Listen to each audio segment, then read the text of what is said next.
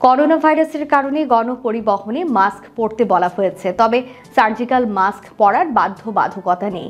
কেউ যদি বাড়িতে তৈরি মাস্ক পরেন বা রুমাল কিংবা অন্য কাপড় মাস্ক হিসেবে ব্যবহার করেন, আপত্তি নেই।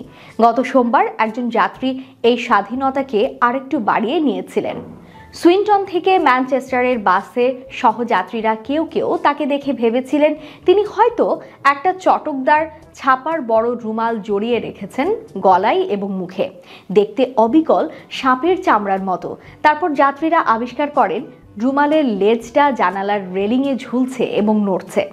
ভদ্রলোকেরও তা নিয়ে কোনো মাথা ব্যথা নেই। এই ঘটনা দেখে বাসের লোক মূর্ছা গেছে। এমন ঘটনা অবশ্য ঘটেনি। যার সাপ তিনি গলায় জড়াবেন নাকি মুখে পেঁচাবেন সেটা তার ব্যাপার। এই রকম ভাব বেশিরভাগ যাত্রীর। কিন্তু গ্রেটার ম্যানচেস্টার পরিবহন কর্তৃপক্ষ বলছে করোনা ভাইরাস যে সাপে ভয় পায়, এমন তো প্রমাণ হয়নি। ততদিন পর্যন্ত মাস্ক পরতে হবে। সাপ দিয়ে মুখ ঢাকা যাবে না।